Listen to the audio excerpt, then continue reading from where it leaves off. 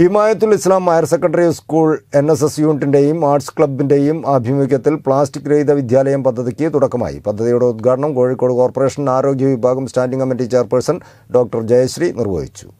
Himayathul Islam higher secondary school N S S യൂണിറ്റിന്റെയും arts ക്ലബിന്റെയും ആഭിമുഖ്യത്തിലാണ് plastic രഹിത വിദ്യാലയം പദ്ധതി നടപ്പിലാക്കുന്നത്.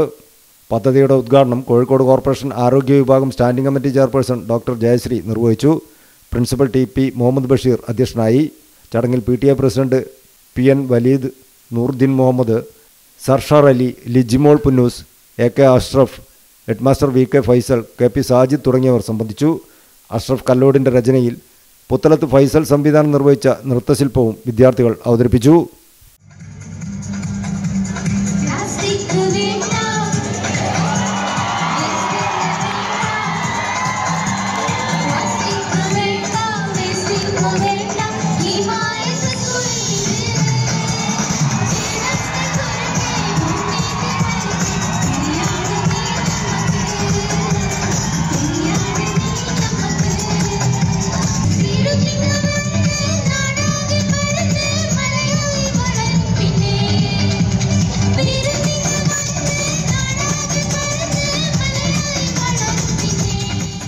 Ньюсбюро Маур.